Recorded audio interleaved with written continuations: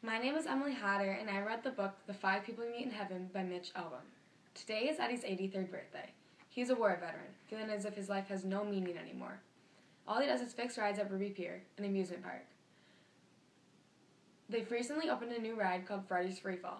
This will be where Eddie was killed. Eddie was killed from a falling cart on Freddy's Freefall. When the cart was falling, he tried to save a little girl. He could feel his hands, her hands in his but she, he doesn't know if she made it out or not.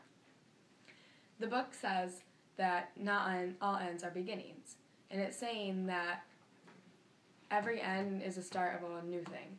It starts like this. This is a story about a man named Eddie, and it's the beginning at the end, with Eddie dying in the sun.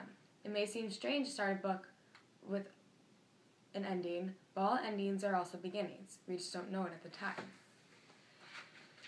On Eddie's way up to heaven, he feels no pain. He feels as if he's floating. He feels like a bird.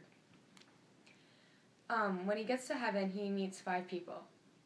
He will meet five people. He is told. When he wakes up, he's in a teacup. He's in a teacup at Ruby Pier. So he gets up because he doesn't know why he's in a teacup. He gets up and he starts walking around. But when he starts walking around, he doesn't. He feels no pain at all. He has no joint pain. He can run. When Eddie hasn't been able to run since he was a child, and now he can with absolutely no pain. But when he looks around, he realizes that it's not the Ruby Pier he died at. It's a Ruby Pier from his childhood, from the 1920s. when he starts to walk around, he finds the Blue Man, a person from his childhood, and he soon finds out why he meets him. The five people all have something to do with Eddie, nothing having to do with the other, but they all have something to do with Eddie. This book really makes you think differently about the world. It makes you think, well, who are my five people in the world, or who have whose life has I impacted? Um, each person, or this book is uh, for all readers.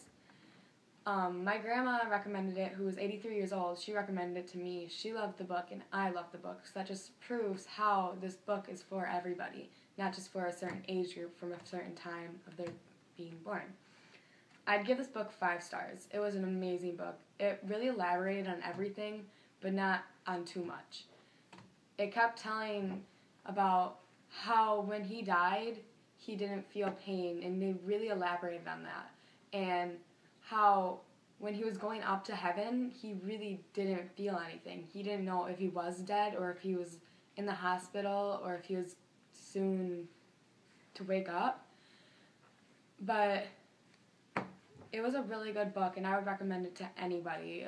I thought it was a really life changing book. Thank you.